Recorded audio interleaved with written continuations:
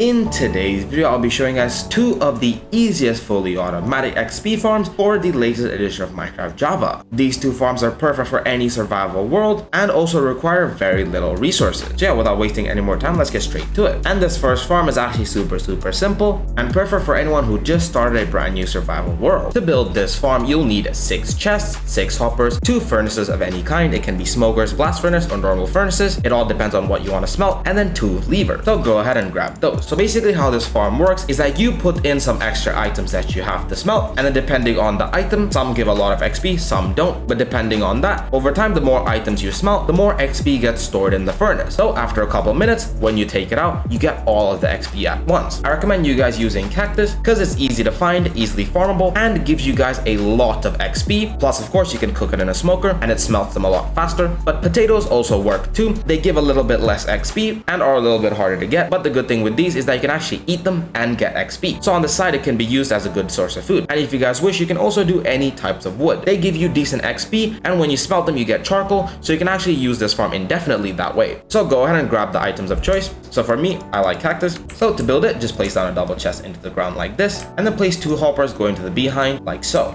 Now on top of those two hoppers, place down your furnace of choice. And now while we're still here, place down a lever on top of each one. Now place two hoppers on either side of these furnaces, and then finally two more on top. Now place a chest on top of each one of these hoppers, and that's actually the construction complete. Now I'll show you how you can use it. So firstly, grab some coal or any fuel of your choice, and then place them into these chests.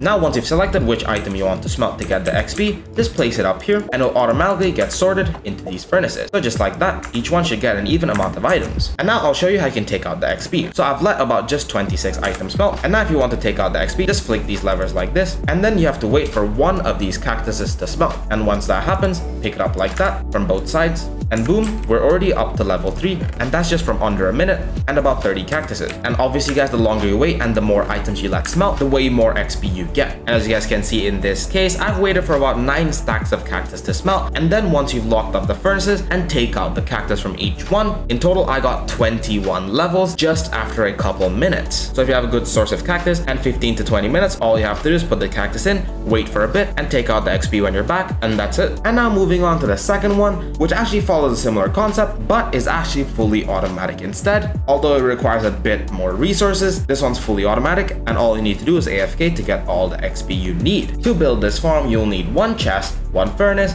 two hoppers, one lever, a bucket of water, about 28 blocks of your choice, 22 stairs, and about a stack of glass blocks. And guys, this is actually optional, so guys, you don't have to use glass blocks. If you want, you can just even use cobblestone, it's up to you. And then to build one layer of the cactus farm, you'll need 9 cactuses, 9 sand, 9 solid blocks, and 6 fences. And this is all for just one layer. So if you guys just want to add more layers, just multiply these numbers with however many you want to build and just get that many resources. So yeah, go ahead and grab all these materials. So to get started building the farm, place down your chest right here, and then make your way to the behind of the chest, and then place in a hopper. Now while crouching on top of the hopper, place down your furnace, and then while still crouching, place down a lever on the furnace like this. And then now placing your last hopper on the top of the furnace, and now you can grab your solid blocks, and then go out by three blocks on either side.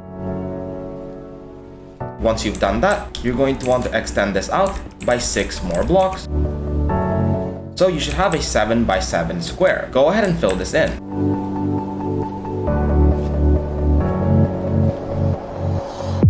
And just like that, your platform should be complete. Now, if this is the front side of our farm, go to the bottom right and left, and then place in a temporary block on both sides, and then build a three block high wall all the way around.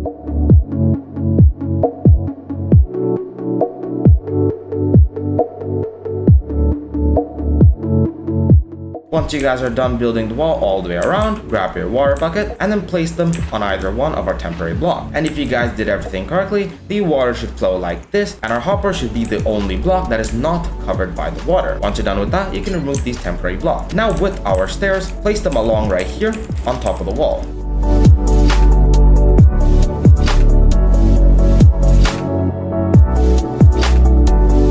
Guys, the purpose of the stairs is that if you guys have a lot of layers, to prevent the amount of cactus that falls onto the side, because if you guys use stairs and some items fall onto the edge like this, they actually just bounce off the edge and go into our water stream. But yeah, once you guys are done building the basin, we can move on to building the cactus farm itself. To do that, make your way inside the basin and then place a temporary block right here and then a solid block like so. Now what you guys are going to want to do is alternate between temporary and solid like this two times and then get rid of these temporary blocks. So you should end up with three blocks like this. Go ahead and repeat that until you guys reach the other end of the basin. And once you guys are done, in total you should have about 9 platforms. So just repeat this all the way around. And boom, just like that, those are our 9 blocks. Now on top of each one, place a sand block. And then your cactus like this. And now to automatically harvest the cactus as soon as they grow, place down a temporary block like this, and then a fence to the center like so. Repeat that for each one of these cactuses. And guys, these three fences will actually automatically harvest these two cactuses. So we just need to do one more on the other side.